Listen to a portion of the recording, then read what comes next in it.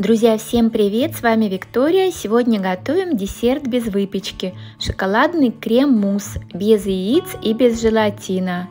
Такой десерт стоит обязательно попробовать. Готовится он очень быстро и понравится всем членам семьи.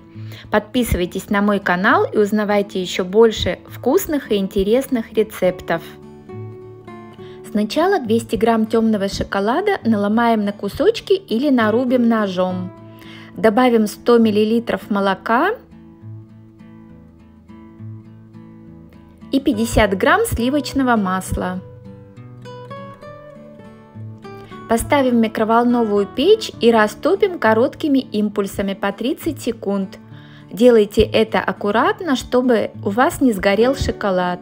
Также можно растопить на водяной бане.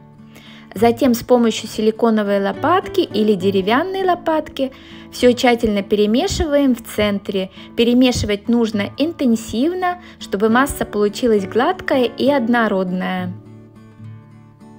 Обратите внимание на консистенцию. Оставим шоколад остывать и займемся сливками. 400 мл сливок, у меня сливки 30% жирности, взбиваем миксером до загустения. Добавляем 3 столовые ложки сахарной пудры и продолжаем взбивать. У меня этот процесс обычно занимает 5-6 минут. Взбиваем вот до такого состояния, когда на сливках начинает оставаться след, значит они достаточно взбиты. Шоколад у меня хорошо остыл, я его еще раз перемешиваю и добавляю в сливки. Очень важно, чтобы сливки и шоколад были одинаковой температуры.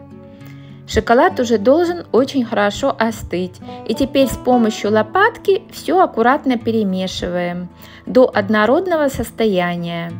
Кстати, такой крем-мусс отлично подойдет для прослойки коржей для любых бисквитных тортов. В этот раз я готовлю крем-мусс без яиц, но на моем канале также есть рецепт крема мусса с яйцами. Ссылочку я вам оставлю в описании под видео. Вот такая консистенция должна у вас получиться.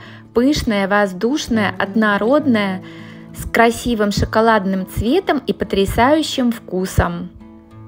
Подготавливаем формочки, подойдут любые стеклянные бокалы, стаканы, креманки или вот такие формочки даже из-под йогурта. Заполняем стаканы шоколадным муссом. Это можно сделать при помощи кондитерского мешка, либо обычной ложкой, как я. Шоколадный мусс можно подавать сразу, можно убрать его в холодильник, чтобы он настоялся. Также его можно хранить в холодильнике до нескольких дней. Для красоты сверху десерт можно присыпать натертым шоколадом, несладким какао, украсить фруктами или ягодами. Это все по вашему вкусу. Всем желаю приятного аппетита, готовьте с удовольствием.